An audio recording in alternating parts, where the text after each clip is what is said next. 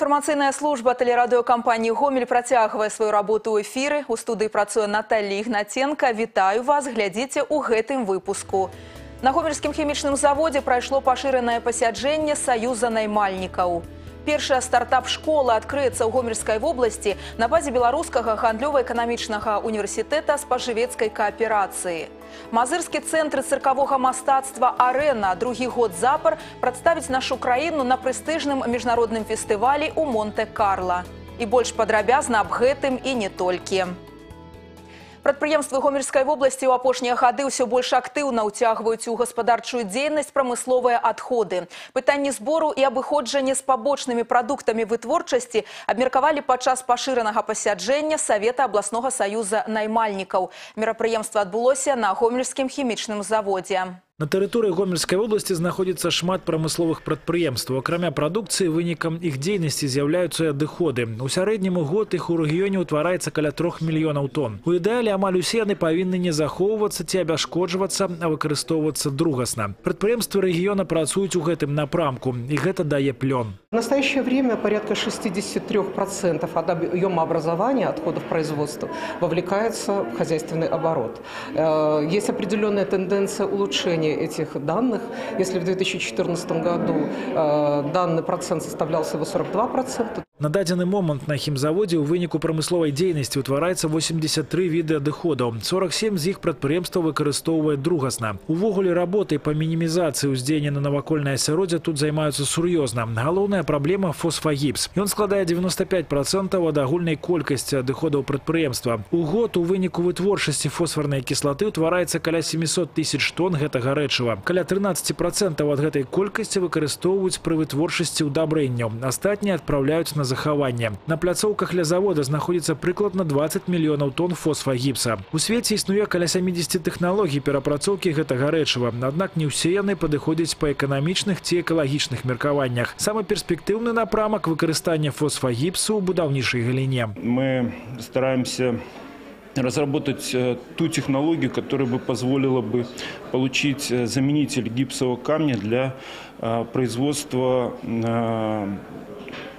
цемента э, нашими цементными заводами в качестве э, регулятора срока схватывания цемента. Э, в данном направлении мы разработали технологию, мы уже согласовали эту технологию с производителями цемента и надеемся, что через пару лет сможем выйти на производство заменителя гипсового, заменителя гипсового вяжущего для того, чтобы использовать его вместо гипса, который закупается за валюту нашими предприятиями. Дарэчы, пробную парту заменніка прыроднага гіпсавага каменя на заводзе плануюць атрымаць у 2018 годзе. Максім Савін, Яўген Макенка, тэлерадыёкампанія Гомель. Першая стартап-школа адкрыецца ў гомельскай вобласці на базе беларускага гандлёва-эканамічнага універсітэта спажывецкай кааперацыі. Стартап-школа Гомель некамерцыйны праект. Яго мэта дапамагчы жадаючым рэалізаваць крэатыўную бізнес-ідэю і запусціць уласны праект. Падобныя школы ўжо ёсць у мінску, брэсце, віцебску і гродні. Папулярнасць стартап-школ заключаецца ў тым, што спікерамі і кансультантамі ў іх выступаюць паспяховыя бізнесмены. Яны гатовыя на практыцы прадэманстраваць адкрываць свае напрацоўкі. Усе заняткі школы арганізуюцца цэнтрам бізнес-адукацыі беларускага гандлёва-эканамічнага універсітэта спажывецкай кааперацыі ў партнёрстве з грамадскім аб'яднаннем таварыства садзейнічання інавацыйнаму бізнесу.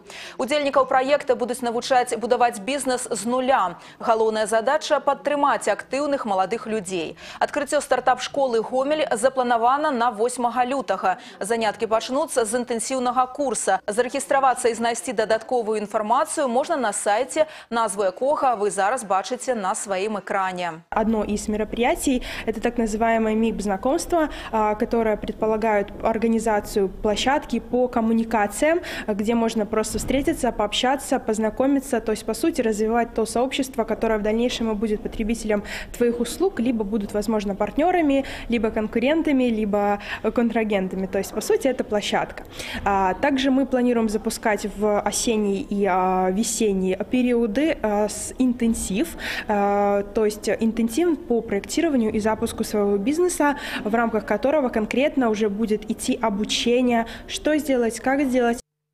У вайсковай часці 55-25 пачаўся новы навучальны перыяд. Пасля ўрачыстага мітынгу ваеннаслужачыя прыступілі да заняткаў. Навучальны перыяд цягнецца паўгода і традыцыйна пачынаецца з заняткаў па тэхніцы бяспекі.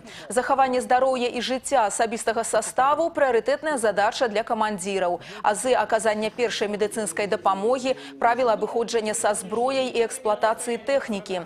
Ваеннаслужачым наглядна прадэманстравалі магчымыя наступствы, да якіх можа прывесці парушэнне нормаў бяспекі як падчас нясення службы, баявой падрыхтоўкі, так і ў паўсядзённым жыцці. Требование безопасности – это самое основное, что может обеспечить дальнейшее выполнение задач.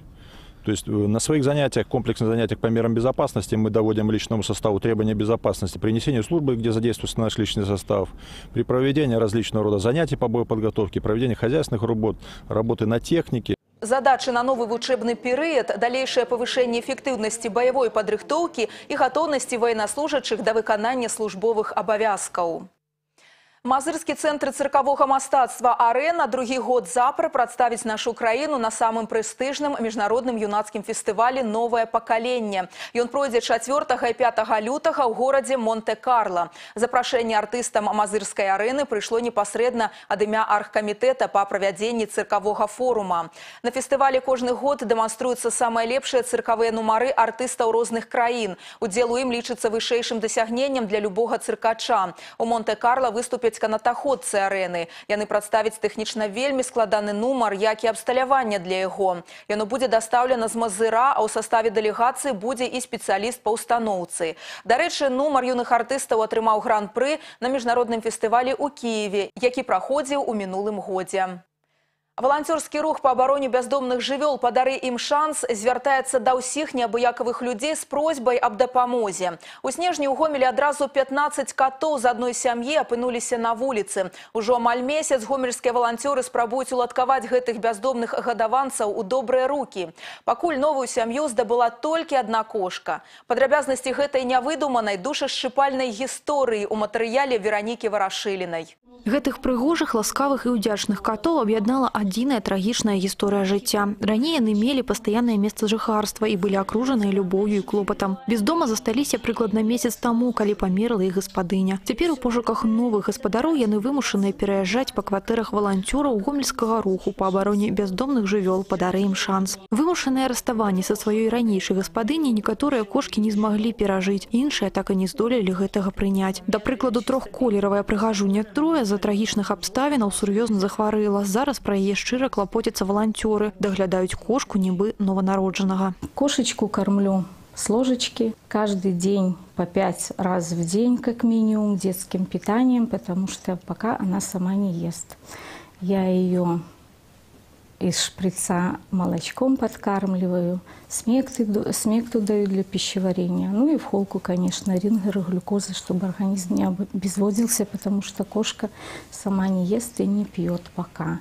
Усе гэтыя жывёлы, якія па злым року лёсу засталіся без дома і гаспадара, зараз знаходзяцца на часовай ператрымцу валанцёраў і неабыякавых людзей. Пакуль яны жывуць у самых розных умовах, аднак усе як адзін пад пільным штодзённым наглядам гомельскага руху па абароне бяздомных жывёл падары ім шанс. Галоўная задача знайсці пастаянную сям'ю для кожнага. У гомелі зараз таксама працуюць спецыяльныя пункты, куды неабыякавыя гараджане могуць прынесці корм, лекі і іншыя неабходныя прыналежнасці. Помощь кормами – это для нас э, помощь которая нужна ежедневно просто, даже больше, наверное, чем финансовая помощь. Потому что финансовую помощь мы, как правило, просим в группах, когда нужно на какое-то конкретное животное, на какую-то конкретную операцию, э, либо стерилизацию. Боксов для сбора денег у нашего движения нет. Мы не имеем права собирать э, в боксах, но у нас есть боксы для сбора корма, лекарств, амуниции, которые стоят во многих э, ветеринарных магазинах, аптеках. Адреса у нас есть на наш, в наших группах ВКонтакте, в Одноклассниках. Вероніка Варашыліна, Яўген Макеенка, тэлерадыёкампанія Гомель. Вы глядзелі інфармацыйны выпуск тэлерадыёкампаніі Гомель. У студыі працавала Наталья Ігнаценка. Я і мои калегі жадаем вам толькі добрых навінаў. Да новых сустрэч у эфіры.